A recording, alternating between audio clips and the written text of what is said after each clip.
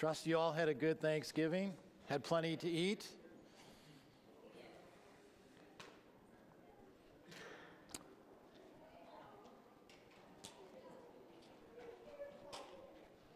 Hope you deer hunters had good success too.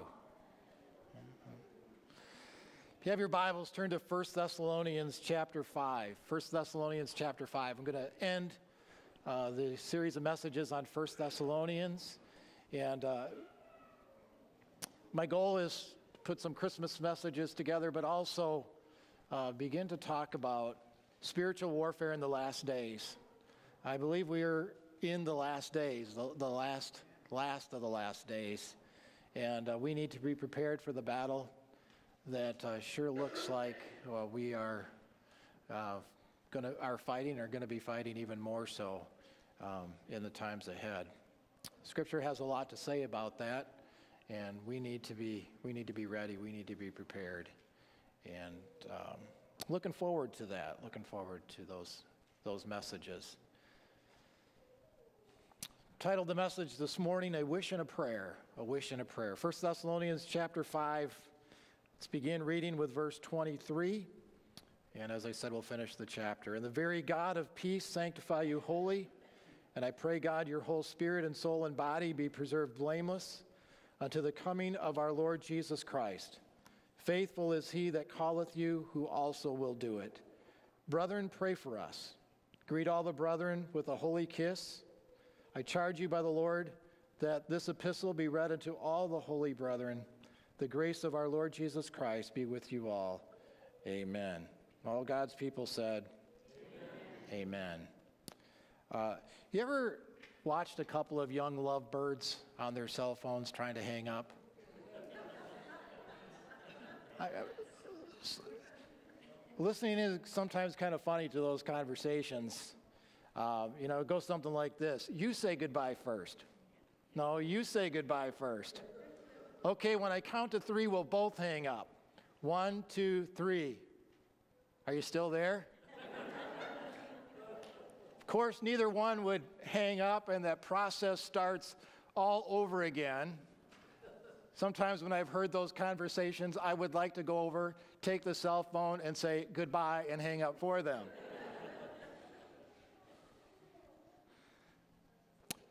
it's amazing that uh, when your children start being interested in the opposite sex and they get a boyfriend or a girlfriend, to get your cell phone bill and look through the minutes and wonder how in the world they could possibly spend that much time on the phone. So you know where I'm coming from to that. Well, this is this is Paul here. He's writing this letter and it's like he doesn't want to end it. He keeps thinking of things that he wants to pray for these, these believers. And so we could, we could say that this is the inspired goodbye of the Apostle Paul. He's going to write the Thessalonian church another letter, but he probably doesn't know it yet. He loved these people, he was their spiritual father. And he focuses in on one major topic, and that is their sanctification. It really is nothing new.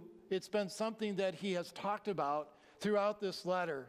He talks about it in, in chapter 3 and verse 13, chapter 4, verse 3, 4, 7, and 8. Six times. Six times.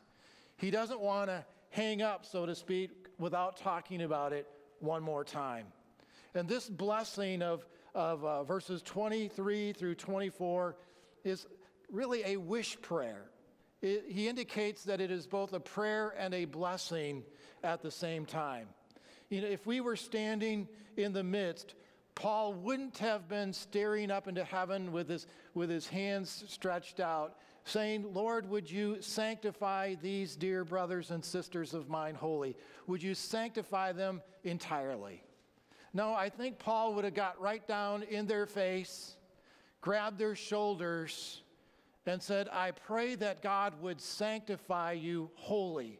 I pray that God would sanctify you completely, that you would be preserved blameless unto the coming of our Lord.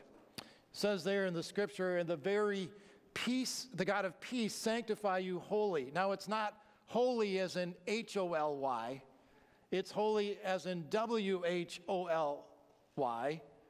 which means complete or entirely. That is, all of you. And I pray, God, your whole spirit and soul and body, all of you, be preserved blameless unto the coming of our Lord Jesus Christ. Faithful is he that calleth you, who also will do it.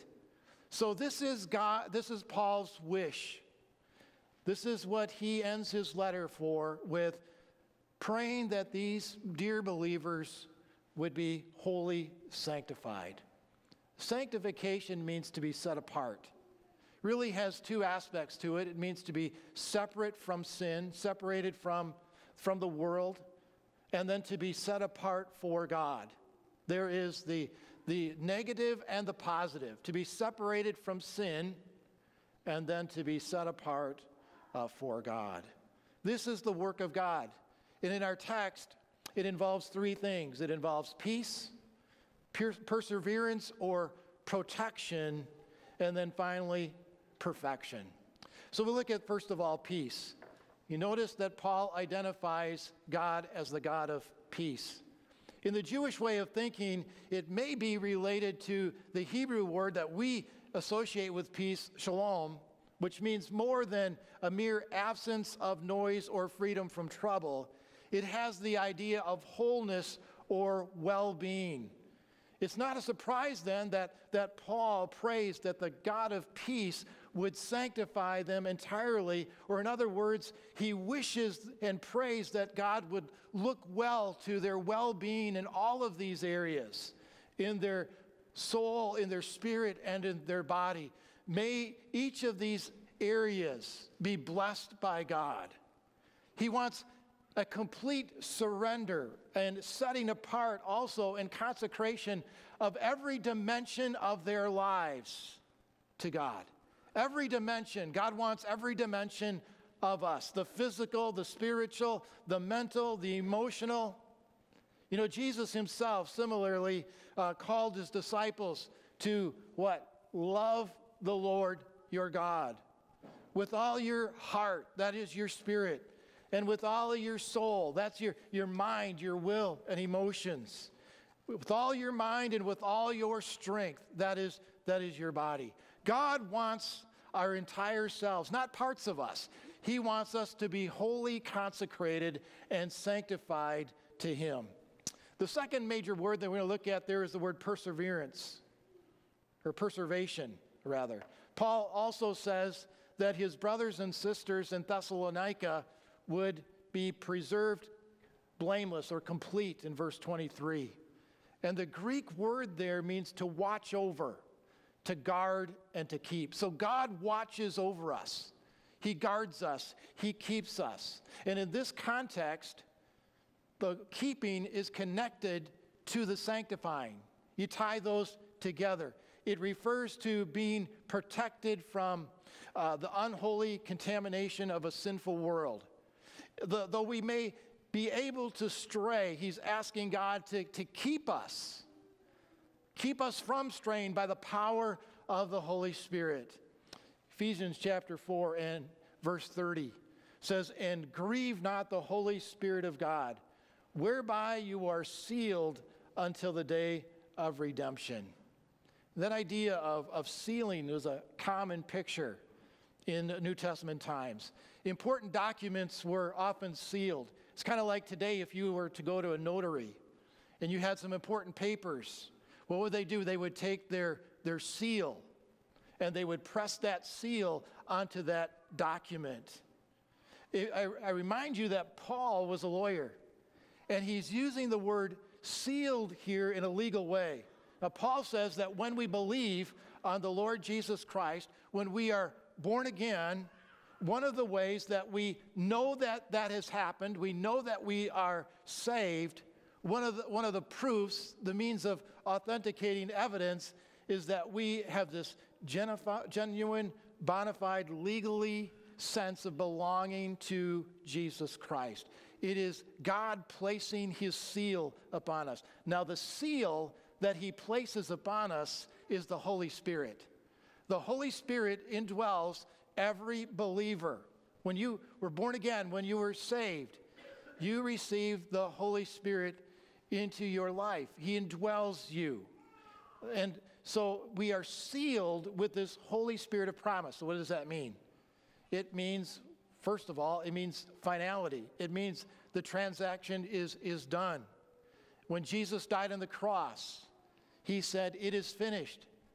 The work that I needed to do to pay for the sin of mankind, that work is done. It's, it's finished. It also means uh, security. There is security in that. The, the transaction is safe.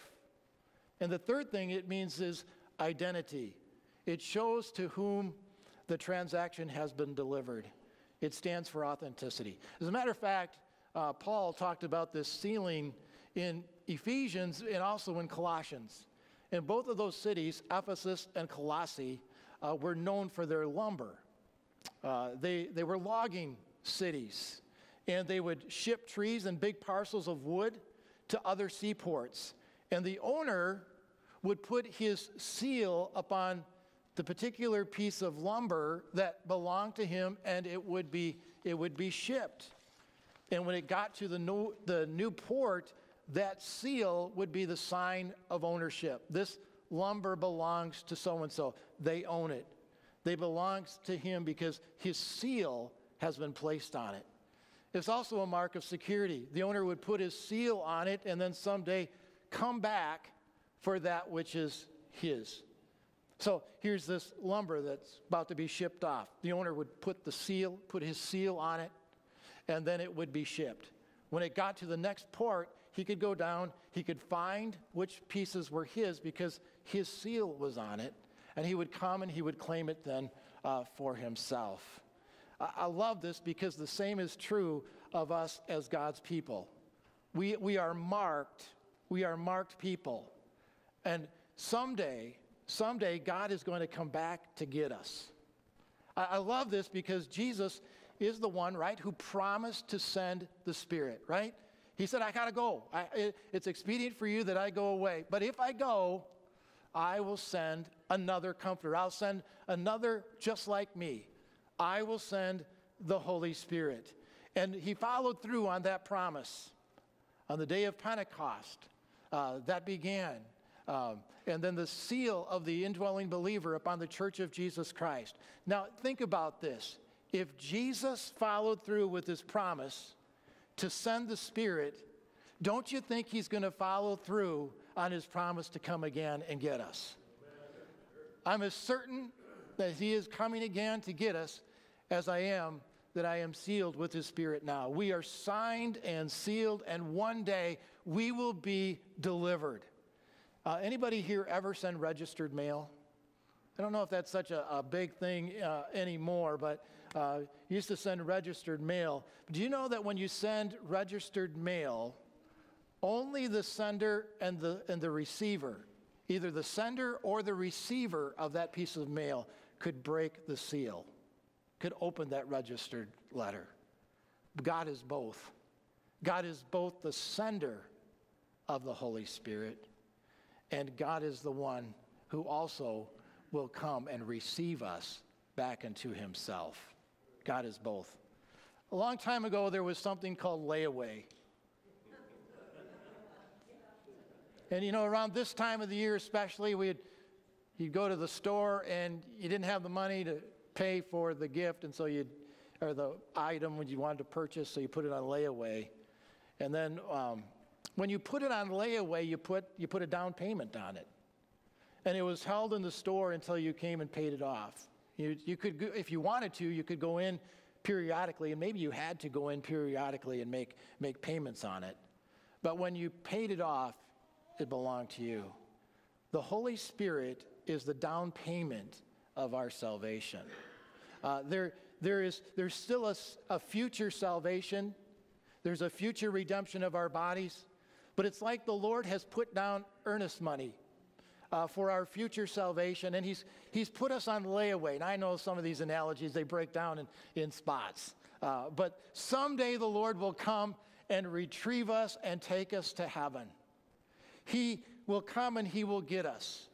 And his, his promise of that, the seal of that, the down payment of that is that he said, I would send the Holy Spirit, and he did. The Holy Spirit becomes the down payment. Now, think about this. Think about this. God's earnest money is God Himself. Because God said, Jesus said, I will send the Holy Spirit, right? Who is God Himself. So, God Himself, through the ministry of the Holy Spirit, is God's guarantee of our future salvation. It all hinges upon, upon God. We have, we have the pledge here, we have the pledge here that there is more to come. Um, you know, everything that we enjoy about the Holy Spirit is really just a, a foretaste of what is to come. It's only the down payment. There is an incredible lot of things yet to happen. All we have received is the first installment. All we have received is just, is just a sample of what heaven is going to be like. Do you ever uh, get to lick the bowl? You know, Thanksgiving or Christmas or whatever, mom's, grandma, somebody's doing the, the Christmas baking. Can I lick the bowl? You know, can I, can I have the beaters? Can I have the spatula? What are you doing? You're taking uh, just a taste, just a foretaste of what is yet to come. That is what the Holy Spirit is. The Holy Spirit, what we received of Him now, is just a foretaste of what is to come. I'm here to tell you, church, the best is yet to come. The, the Holy Spirit is, is, it's like being allowed into the kitchen to have a, a taste of the feast that is to come. I want you to think right now about the best experience you have ever had with the Holy Spirit. Think about that. The best experience you have ever had with the Holy Spirit. Yeah, that's just a taste. That's just like licking the bowl. That's just like licking off the spatula or, or um, just having a sampling. We, it's like we have received the first dollar of the many celestial dollars to come. The Holy Spirit is our seal. This is really our, our sanctification here that is being talked about. The Holy Spirit is working daily in our lives uh, to accomplish God's will in making us like Jesus and sanctifying uh, ourselves. So, in this, to guard and protect us, to preserve us. God doesn't remove us from this world, but He insulates us from its devastating effects. In uh, John chapter 17 and verse 15, this great intercessory prayer of Jesus is that I do not pray that, pray that you would take them out of the world, but that you should keep them from the evil one. And so while we are in the world, while we are living here, God is protecting us, He is sanctifying us. The Holy Spirit is ministering in us, the Holy Spirit is ministering through us. Finally, Paul says, uh, we come to a place of perfection. Paul prays that God would receive his brothers and sisters in Christ without blame when Christ comes when Christ returns. Now, sanctification, there are three main aspects to it. And we're going to get, I know we're going to get a little theological this morning, but it's, it's a great thing to, to, to learn. First of all, there is this positional area of sanctification. God has set us apart as his special possession. Look at your neighbor next to you. That is a special possession of God. You are a special possession of God. And God has set you apart. This happens when, when you are saved. And then there is progressive sanctification. God begins a process of daily working in our lives where we are more and more set apart for Him, separated from the world and set apart for Him. Sometimes that's called practical sanctification. And then finally, there is perfect sanctification. And this happens when we are glorified when we see Jesus. As 1 John chapter 3 and verse 2, th- verse 2 says, When we see him, we shall be like him, for we shall see him as he is. Isn't that a wonderful thing? Someday we are going to be like Jesus. Now we know that all things are working together for good to conform us into that image of Jesus Christ. But someday we're going to be like him. And here's the goal of the Christian life the goal of the Christian life is to become so much like Jesus right now that when he comes for us, the work of transformation won't be that great.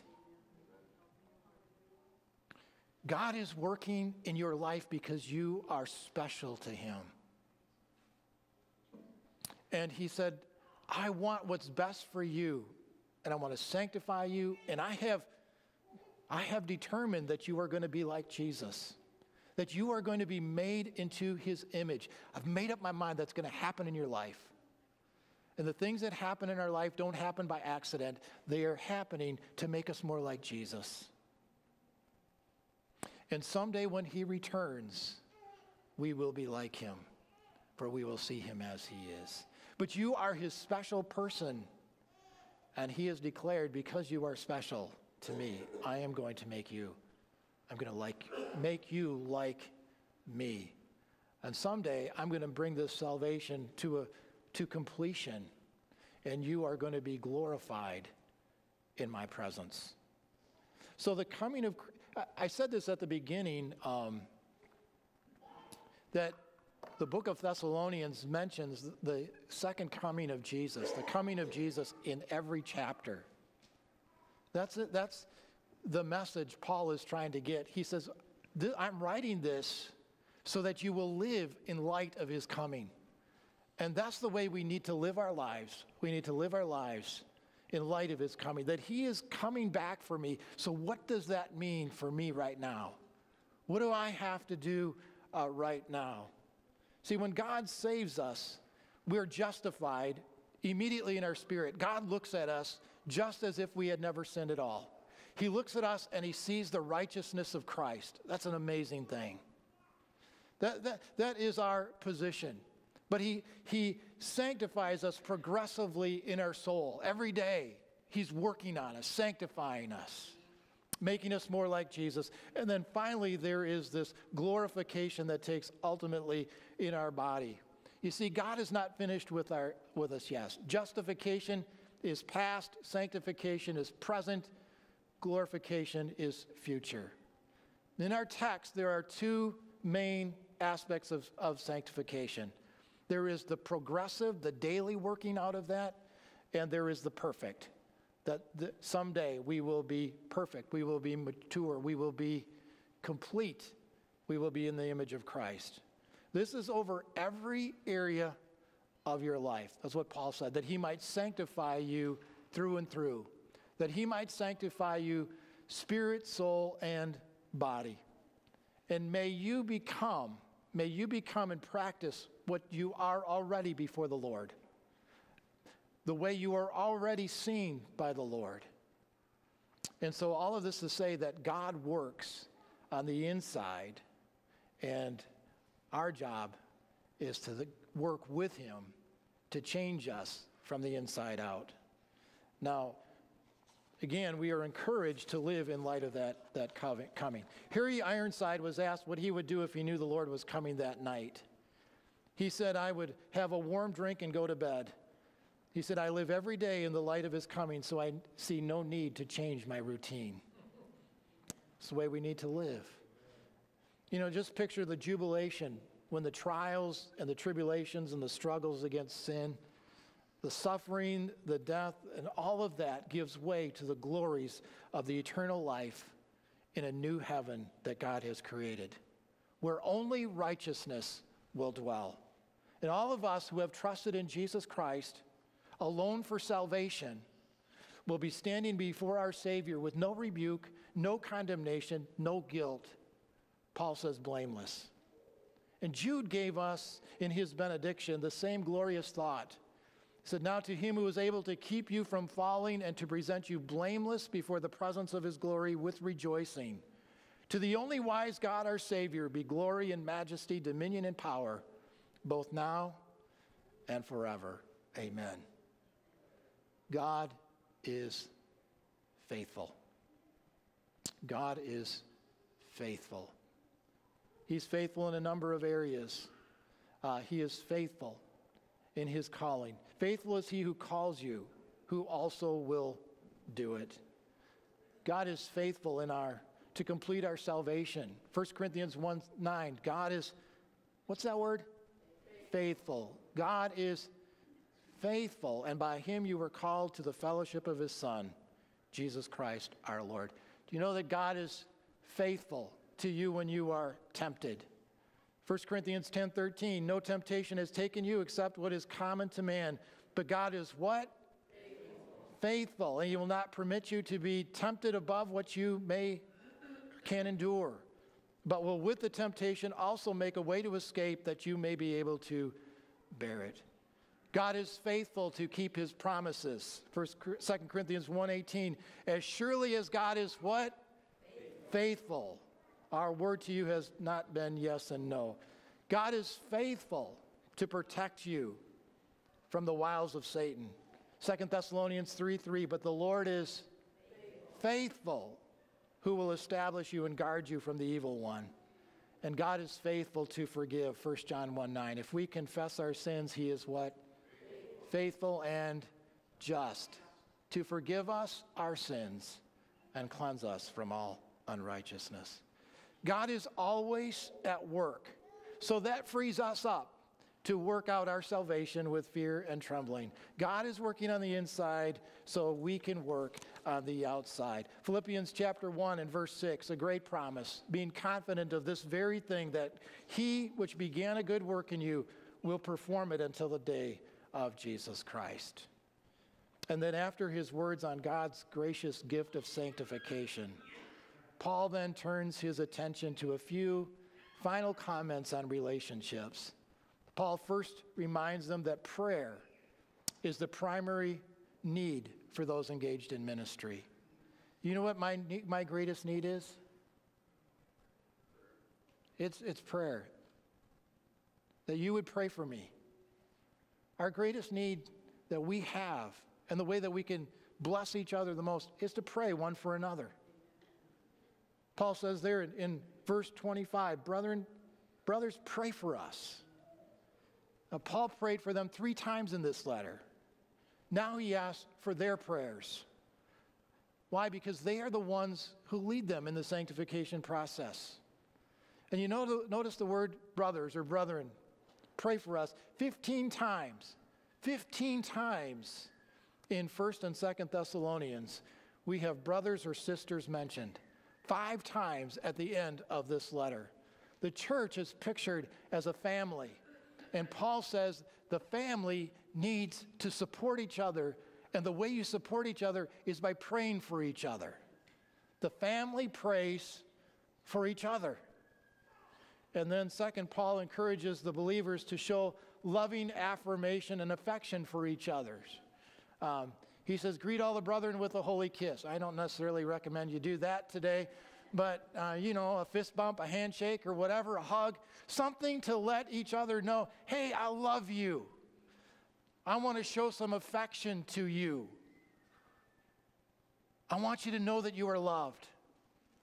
I mean, there's something about touching each other that, that gives each other strength and comfort like nothing else can. There's something about just a hug just something about a pat on the back. Yesterday, I was telling the Sunday school class, yesterday I had my first funeral that I had to do where we had to completely social distance. They did contact tracing, the, the, the, the whole works.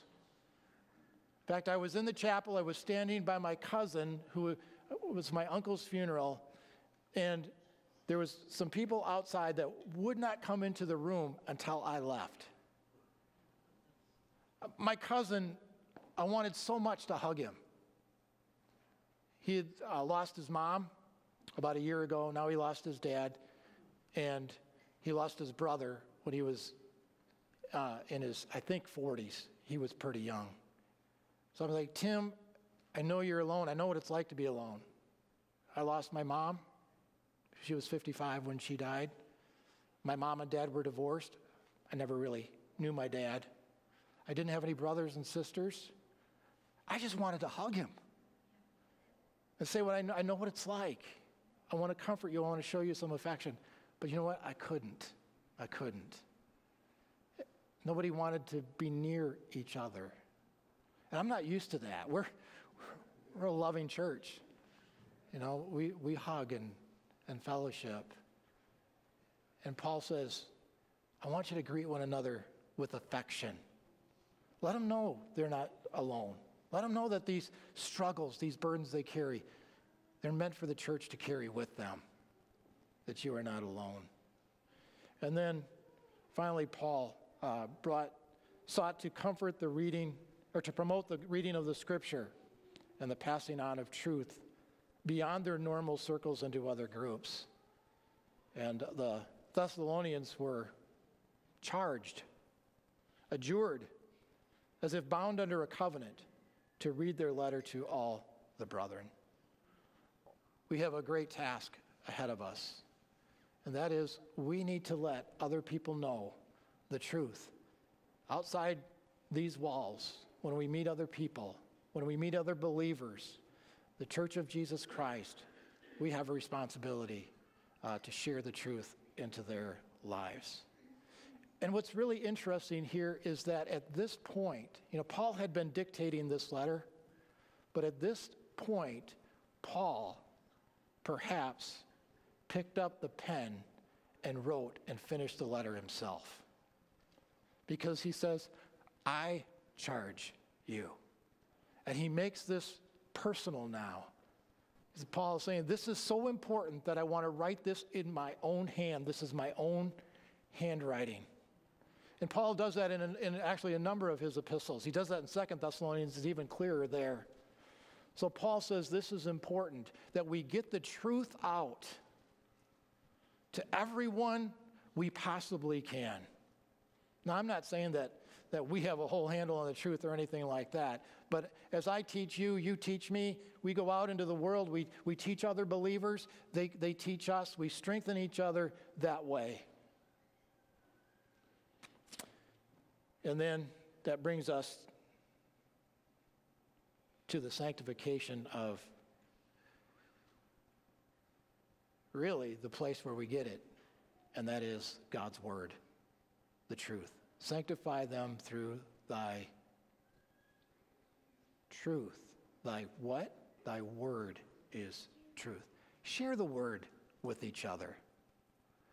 One of the things that I love the most is talking about the Bible. I, would rather talk about the Bible than anything else.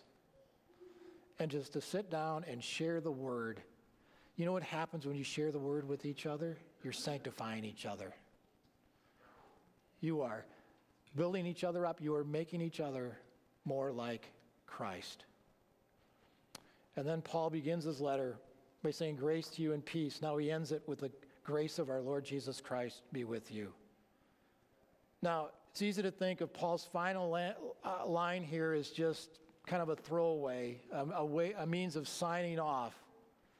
But that view fails to consider that for Paul, grace that comes from the Lord Jesus Christ was everything. The word grace, I mean, we could, we could preach all day on, on grace. It's so multifaceted. But it includes the idea of favor, beauty, thanksgiving, delight, kindness, blessing, charm, and joy. For, for Paul, grace was always something undeserved, unmerited, unearned favor before God. Theologically speaking, grace is God's favor that is lovingly, lavishly, and eternally bestowed upon us by God the Father through the Son by the power of the Holy Spirit. This is the way Paul says uh, goodbye in this letter. This is the way he signs off. The Question I want to ask you today since God is a God of peace, but that is only true for the believer that is only true for the believer. Only the believer has peace. So the question to you today is Have you made your peace with God? Because if you haven't made peace with God, life will be a struggle because God is trying to get you to the place where you do exactly that, that you make your peace with Him. And then once you make your peace with God, then you can have peace in every situation in life. As you come to the one who has the great title, the Prince of Peace, the one who is able to give peace in all circumstances, even when it doesn't seem humanly possible. He can give that kind of peace. You know, studies have been done. They say the world looks for three things. They're looking for three things. They are looking for love, they are looking for happiness, and they are looking for peace. Do you know that those three things just happen to be the first of the fruit of the Spirit? Love, joy, and peace. But in a world that is filled with chaos and darkness, this world needs to experience the true love of God. And the many are only going to experience it through us as we demonstrate that sacrificial love of God. The world is looking for happiness, but they're looking for it in all the wrong places. Only we can point them to true joy, which goes beyond the circumstances of life to an inner strength, an inner expression. And then peace. Wow, the world would love to have peace. How many times do you hear see people say, What do you want? I want world peace. Well, I'm going to tell you that's an impossibility until the Prince of Peace sits on the throne. Everything else will, find, will just be an illusion. But the world needs to hear the world needs to hear that there will, no, there will be no peace. The global reset will not bring peace. The one world government will not bring peace. When the Antichrist comes, it's going to be a false peace. The only peace, the only peace is for let, to let Jesus rule and reign. And that begins in your heart. Remember that old song, There's One Way to Peace Through the Power of the cross. And if you have not been to the cross and knelt at the cross and confessed your sins to God and repented of those sins and taken Jesus as your Lord and Savior, if you have not done that, you're not at peace with God today. And I'm challenging you make peace with God. You'll be so glad that you did. Could I have your heads bowed, your eyes closed?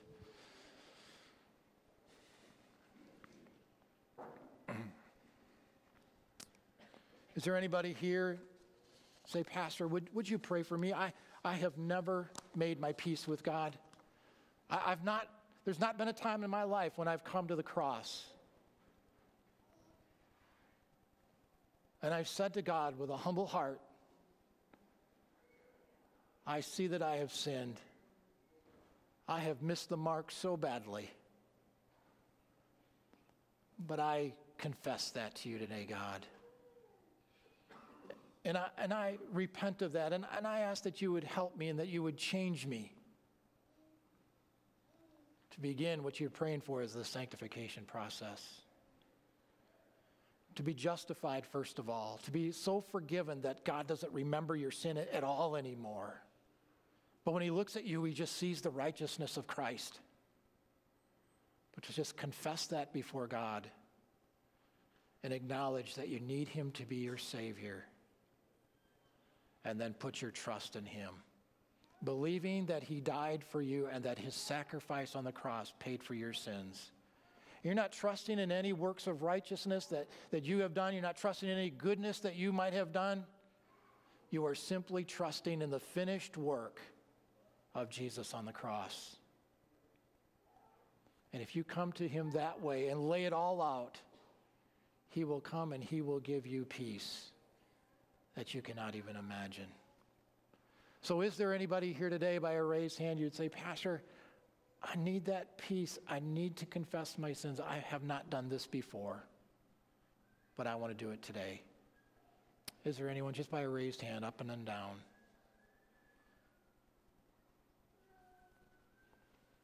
Okay, Christian, let me talk to you for a minute. how's that daily sanctification going? Are you are you being separated from the world and set apart for God? Are you living for God? Or is God saying to you today, you know, there are some things in your life that are hindering you from becoming more like, more like me? And I want to, I want to work there. I want to do a work in your life there. And would you submit to me and let me, let me work in your life? Let me make you more like Jesus. See, it's going to happen. You're going to become like Jesus. If you're a true believer, it's so much easier, let me tell you, it's so much easier to cooperate with God than fight against Him. But if you would willingly surrender today, you can do that right where you're at. And as the Holy Spirit brings things to your mind, say, Thank you, Lord, for pointing that area out to me. And you just can't purpose to do better, but you can say, God, as you give me the grace, together we will work and make me more like Jesus.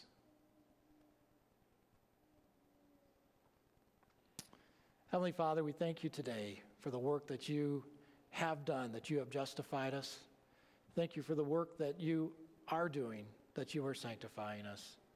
And we look forward to the work that someday you will do when we stand glorified in your presence. Pray your blessing upon each one here today. In, in Jesus' name, amen. Um, if you could sit tight for a few minutes. Last week we took an offering for um, Paul I, and in particular the ministry of the orphanage in Cambodia. And they're going to show some pictures of that um, so you can know where your money went last week and, and, and what you gave to. So I'm going to ask Dick to come up. He's going to soon introduce this.